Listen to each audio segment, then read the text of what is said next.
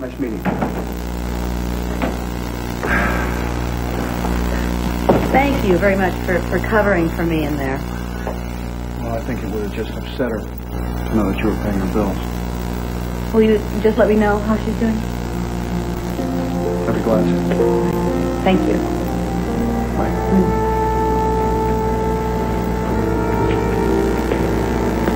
Who was that? Lower the volume, please? All right. Who is that man? His name is Pierce Riley. And he happens to be an old friend of my Aunt Phoebe. She knows, knows him for almost 20 years, and he's a very nice man.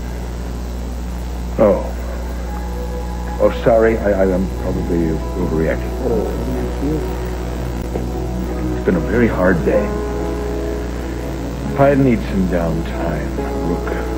Maybe you could spare me just a few hours this afternoon? I need to look into those beautiful eyes and bask in the glory of that smile and get your answer to my proposal. No, I'm afraid you're going to have to wait for all of that until this oh. evening, Adam. No, no, no. My afternoon is booked. Oh, come on. You can reschedule. No, now I can't. And don't even try to convince me to do that. Oh, God forbid. Well, good.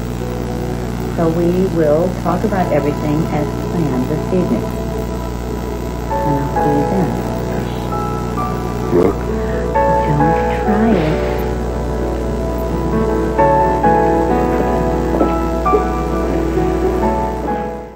They just hurt people and make even bigger messes out of Oh, things. excuse me. Did I just hear the word plot and Adam Chandler in the same sentence?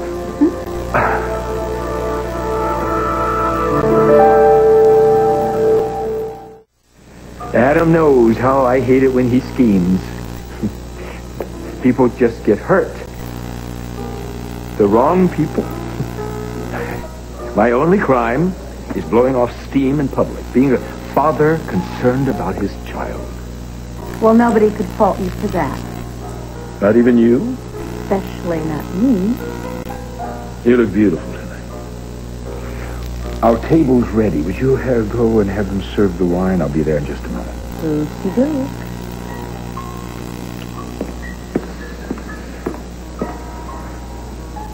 You lied to her.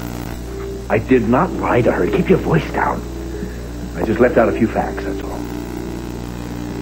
Stuart, this is a very delicate situation. I'll fill Brooke in on the details later. Right now, I want you to go home. Start calling Hayley. Make sure she's okay. What do I say if she answers? With her.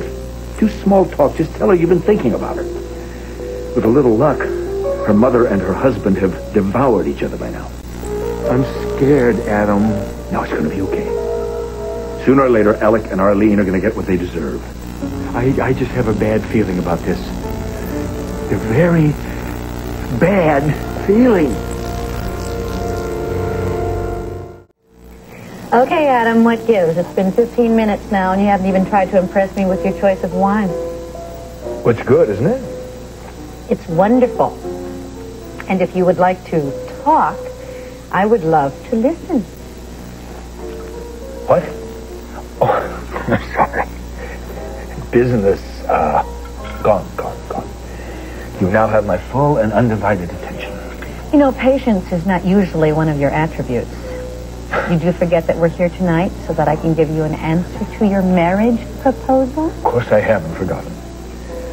I just don't want to pressure you. You live to pressure me. What about all those little gifts that you sent from all around the world? Love tokens. Little subtle, subtle reminders that you're waiting for an answer? Absolutely. Well, Brooke, what is it? Will you marry me?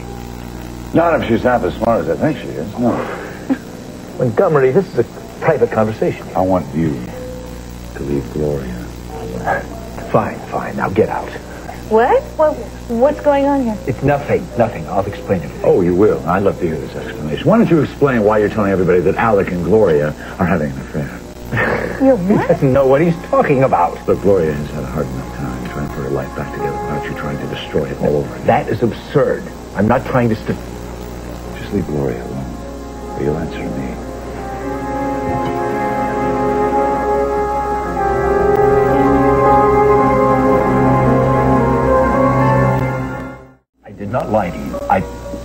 Out a few facts. And Stuart wanted to help. What's wrong with a man wanting the best for his own child? Nothing. Nothing if the child is six years old. Hayley is all grown up. So she has the right to fail, and she has the right to live her own life. She can live her own life all she wants after she dumps Alec. Boy, you know you haven't changed one bit. The man is a sleaze. You know that. People say that about you, and you know that? Well, whatever I do, I do because I love Hayley. That noble excuse does not wash anymore. Oh, just, stop right there. I am here tonight because I want to spend the rest of my life with you. I'm really sorry that this, this unfortunate thing came up about Gloria. But uh, will you please answer my question? Will you marry me? She has gone through so much, and this kind of a rumor, you know what kind of damage I, can do to her? I didn't spread it all over town. It I... doesn't matter, all right? She's an innocent bystander. right, I apologize. I'll make it up to her. You know, you, you'll just... You'll never get it, and I don't know why. I waste my time. Could, could we just get back to the reason we're here tonight? I had a very good feeling about what was going to happen. Don't leave me hanging, Brooke. Will you marry me? Never know. No amount of righteous indignation is going to conceal the fact that you love me, and even though I stepped over the line, nothing can change the fact that I love you. We love each other. We belong together. Right now, you don't want to hear what I have to say to you. Trust me.